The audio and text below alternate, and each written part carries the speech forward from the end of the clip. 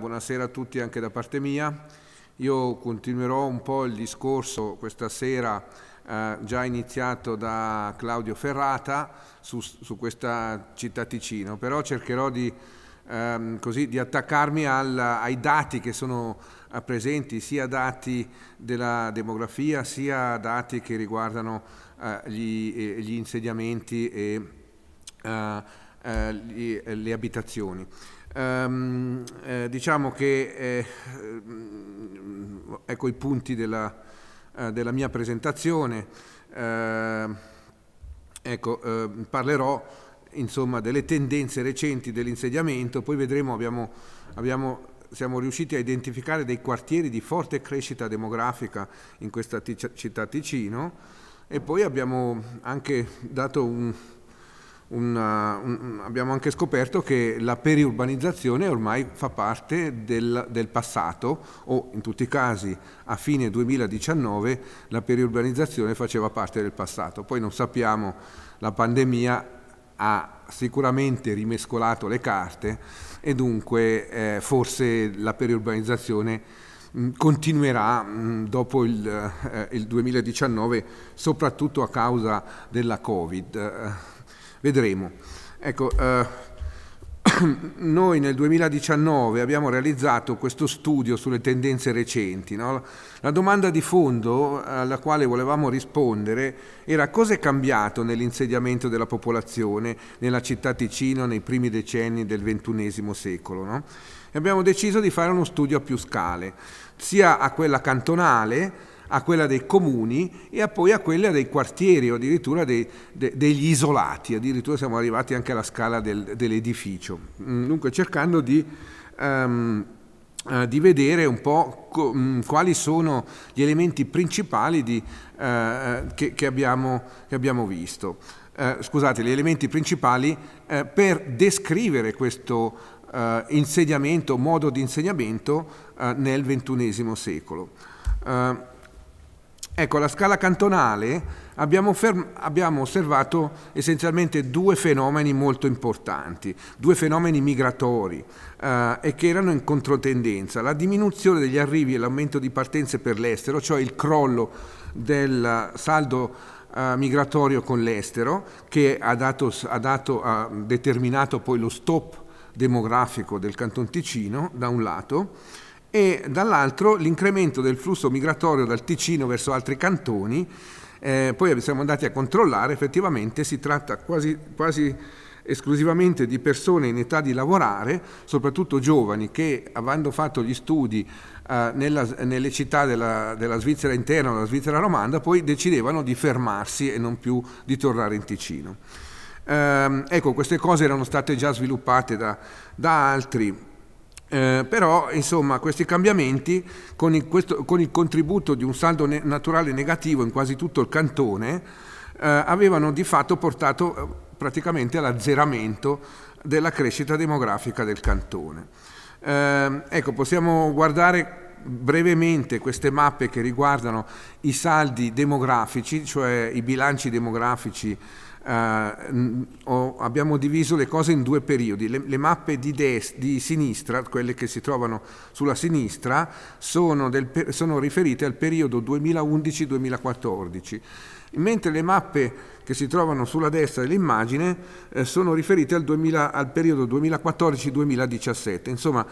eh, l'idea è mostrare qual è il saldo eh, medio annuo nel primo periodo e il saldo medio anno nel secondo periodo. Ecco, qui abbiamo, vediamo che c'è un incremento del saldo naturale negativo in queste mappe. Vediamo che nel, nel periodo 2014-2017, eh, il, eh, se vogliamo, la differenza tra i nati e i morti eh, aumenta in modo negativo, cioè ci sono molti più morti che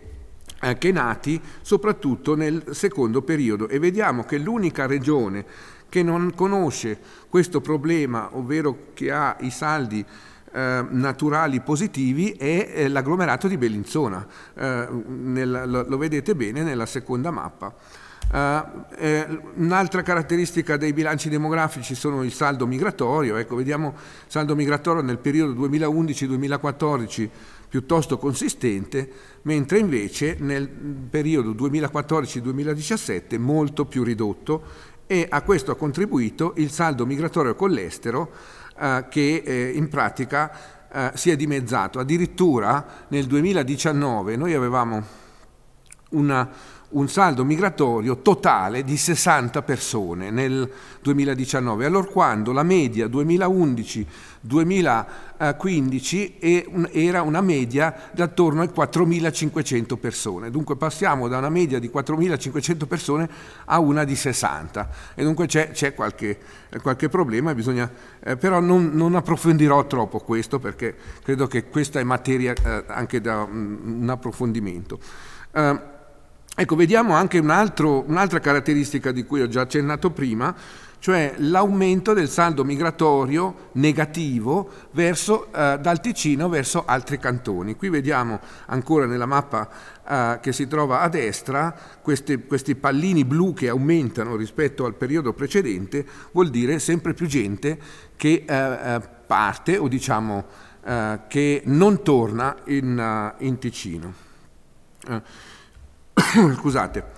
Eh, ecco, e poi eh, guardiamo invece quest'ultima, quest'ultima, serie di due mappe, eh, sono i saldi migratori, attenzione i saldi migratori per coppie di comuni. No? Uh, uh, queste frecce praticamente significano dove le persone si spostano e qui vediamo ancora una volta nel secondo periodo, nel periodo tra il 2014 e il 2017, uh, dove praticamente Bellinzona diventa molto molto attrattiva Uh, cioè c'è gente che da, da Lugano uh, si sposta, uh, dal Luganese si sposta a Bellinzona, ma anche dal Mendrisiotto, ma anche dal, dal Locarnese e soprattutto anche tradizionalmente da tutte le, dalle valli superiori. E dunque Bellinzona sembra l'unica città in qualche modo che guadagna popolazione rispetto a questa stagnazione di cui ho detto, ho detto prima.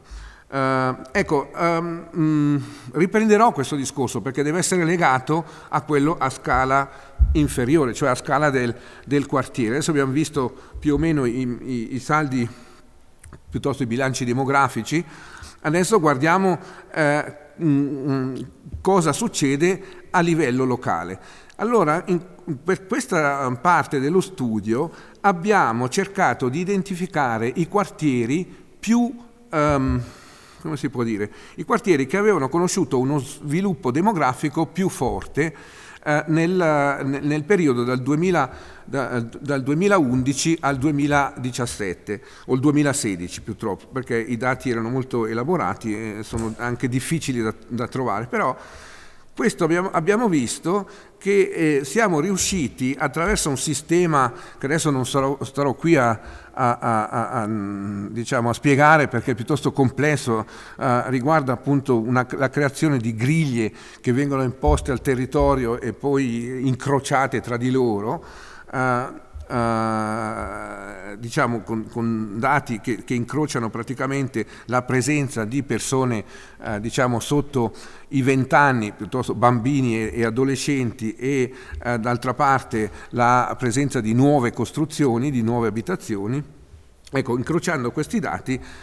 siamo riusciti a identificare 82 piccole zone, se vogliamo nuovi quartieri, che hanno conosciuto una fortissima crescita demografica. Mm. Eh. E la nostra sorpresa è che la maggior parte della popolazione nuova non si trovava nelle, nei luoghi dove tradizionalmente eh, eh, trovavamo le più forti crescite demografiche, ovvero nelle periferie, nel periurbano e nel suburbano. No, abbiamo trovato queste cose nelle aree centrali, in particolare ehm, nelle zone più vicine alle città o addirittura ad, all'interno delle città. Eh, e eh, praticamente questa popolazione, cioè che si trovava all'interno delle città o eh, diciamo nei comuni urbani eh, più centrali, eh, corrispondeva a più della metà della nuova popolazione che avevamo da, dal 2011. Eh, eh, ecco, per avere un'idea di questi nuovi quartieri, adesso eh, non, non, non, ho fatto una, un'elaborazione cartografica troppo complessa, ma vedete questi puntini praticamente è quello che il nostro modello ci ha messo in evidenza come luogo dove c'è una forte crescita demografica, una forte costruzione di nuove abitazioni e una forte presenza anche di, eh, di persone eh, sotto i vent'anni. Ecco, eh, qui eh, vediamo che cioè, questo, questo, lavoro ci ha permesso di dire, beh, effettivamente c'è stato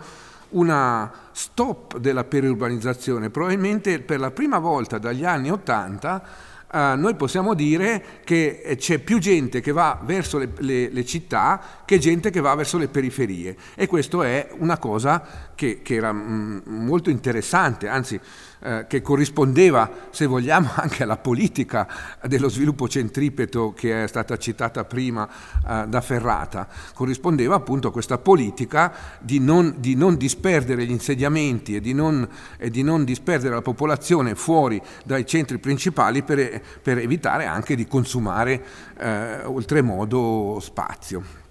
Eh, eh, ecco, questi nuovi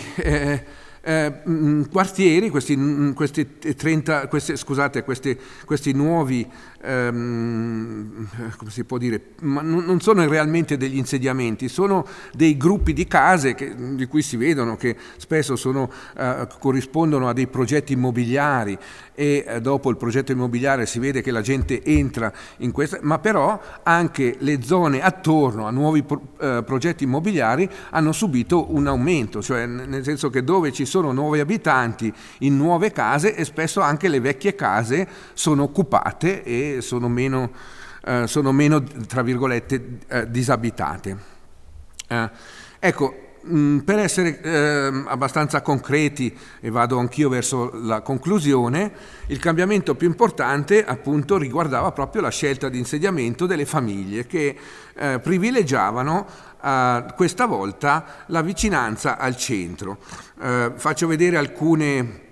alcune tipologie, così molto rapidamente c'è questo quaderno che si può scaricare dai nostri siti internet, sia quello dell'Accademia di Architettura, sia quello del, del Canton Ticino, del, del, della sezione dello sviluppo territoriale. Ecco, si, possono, si, può approfondire il tema, naturalmente adesso sono qualche immagine che vi faccio vedere, soprattutto a titolo esemplificativo. No? Per esempio qui un quartiere nuovo a Bellinzona, un quartiere nuovo a Locarno, e un quartiere nuovo a Lugano. Ecco, adesso li ho, li ho, scelti apposta naturalmente, dopo ci sono anche quartieri, non so, per esempio questo qui a Contone, vedete, questo è uno, uno dei quartieri più piccoli, eh, ehm, a Contone, è uno dei pochi quartieri periurbani che, che siamo riusciti a identificare.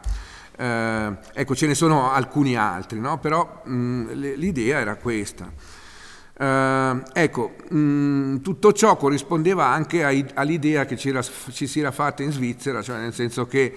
lo sviluppo del Canton Ticino da un punto di vista dell'insediamento non mi sembrava o non ci sembrava molto diverso da quello che avveniva in Svizzera. Proprio a quell'epoca, quando abbiamo pubblicato questo, questo lavoro, eh, il, il Credito Svizzero ha pubblicato il suo eh, mercato immobiliare e eh, una delle cose più importanti che metteva in evidenza era proprio il fatto eh, che i giovani una volta che si sono installati nelle città, per esempio per fare degli studi o degli, apprend- degli, apprendistati, eccetera, poi però non si spostano più nelle periferie dove invece abitano ancora i loro genitori. E questo corrispondeva alle città svizzere, ma corrisponde anche sicuramente a quello che è successo nel Canton Ticino. Eh, ecco, naturalmente con anche il, tutti i problemi di cui, di cui, parlavo, dei problemi dell'emigrazione verso le città del nord delle Alpi e il problema della fine del, eh, della crescita demografica e dunque eh, ecco, non, non, dobbiamo, non, dobbiamo, dimenticarle queste cose. No?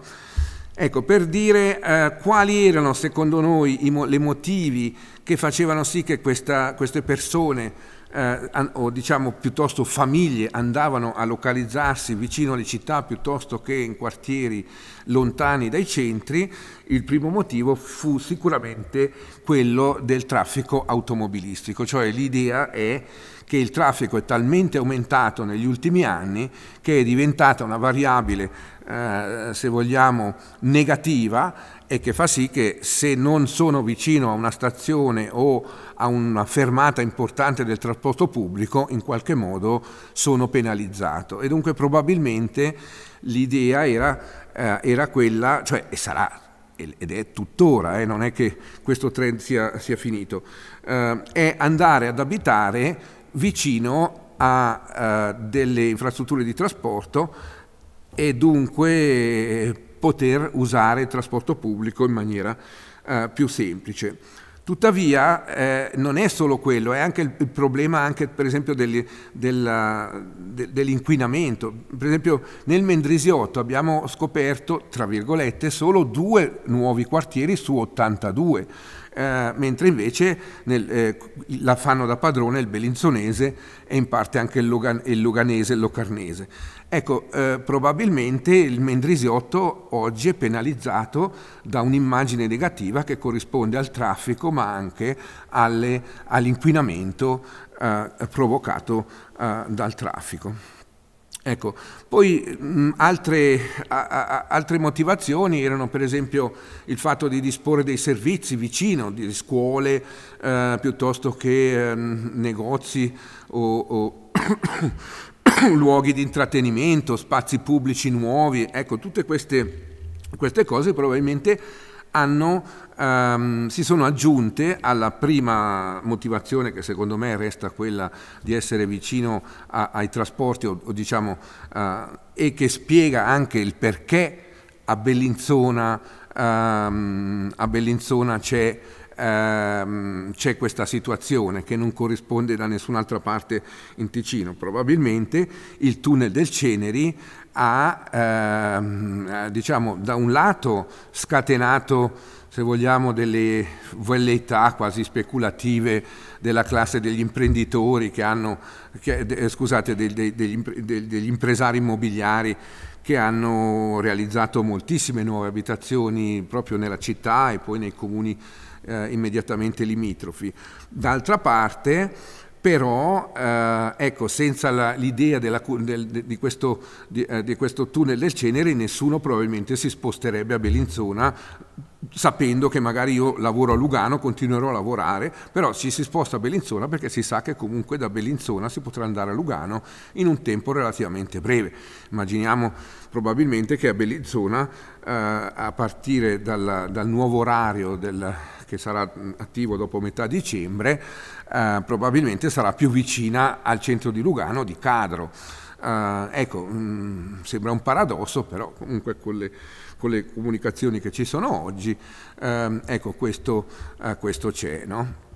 Eh, e dunque Bellinzona si trova in una situazione molto particolare, eh, eh io ho parlato dell'attrazione fatale eh, del tunnel del Ceneri, forse esagerato, però diciamo, l'idea è di dire effettivamente Bellinzona è un caso particolare e solo dieci anni fa se avessimo, se avessimo rappresentato questa situazione e avessimo detto guarda che nel 2020 sarà così, nessuno ci avrebbe mai creduto, perché eh, Bellinzona è sempre stata una città di funzionari piuttosto sonnecchiosa, poco dinamica anche da un punto di vista eh, economico e oggi invece eh, sembra che sia eh, la città più dinamica del Canton Ticino, dunque non solo in termini demografici ma anche in termini eh, di posti di lavoro, di nuove imprese che si stabiliscono a Bellinzona. Ecco, eh, io spero di poter, mh, mm, poter discutere di queste cose durante la, uh, durante la discussione, vi ringrazio.